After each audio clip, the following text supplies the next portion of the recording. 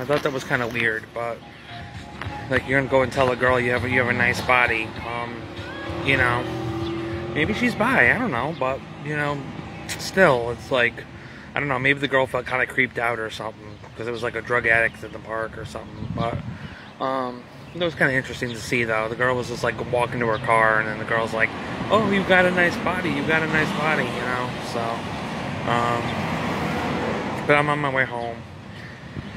Trying to stay indoors. I mean, it's nice out, but um, there's a nice breeze. But I don't know. I mean, I, I don't really want to stay in the park with all the people, you know, hustling and fuffling and stuff like that. So um, I'm gonna do what I need to do. I'm almost home. I'm actually sitting on the wall, like the stone wall over by the uh, funeral home. I'm actually almost home now. Um, then I'll just decide what to do from there.